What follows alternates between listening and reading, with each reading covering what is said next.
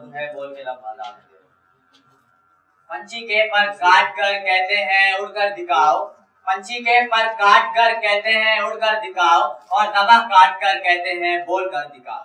नजरियाली वकार बोल के लब आज़ाद है तेरे से मुराद। हक कोई करना, बगैर किसी खौफ और डर के हक की बात करना। लेकिन हमारे सरों पर आज भी खौफ की तलवारें मंडराती है। नजरियाली वकार इस मौजू ने कुछ देर मुझे सोचने में मजबूर कर दिया।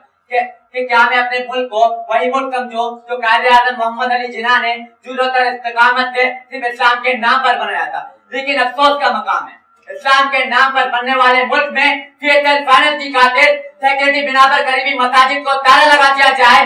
हज़ारों की तादाद में पुलिस उस मैच के लिए अपनी जिम्मेदारियाँ अंजाम दे रहे हो कि अल्लामा इकबाल ने पाकिस्तान के लिए अपना काम देखा था।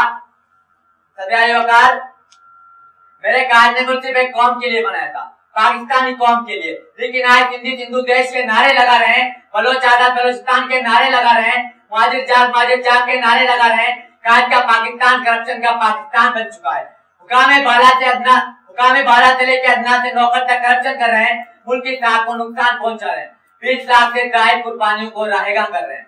सत्याजी बलोच पाकिस्तान की सोच थी मददशुदा लाशों के तोहफे दिए गए। महाजर वजूद पाकिस्तान से बोरीबंद लाशों के तोहफे दिए गए। पठान पाकिस्तान की शान से ड्रोन हमलों के तोहफे दिए गए। कितने बहने बेवा हुए, कितने माओ के लगते जिगर छीने गए। तो कहीं शिया सुन्नी की आग लगा दी गई। वकार, हमें अबोश लेना होगा। हमें अबोश लेना होगा, इस मुल्क को बर्मा, इराक और शाम बनने से बचाना होगा। चिना के पाकिस्तान को चिना का पाकिस्तान बनाना होगा। नफरतों को खत्म करके मोहब्बतों को जन्म देना होगा। आगे मैं बात ये इशारा करता चलूँ।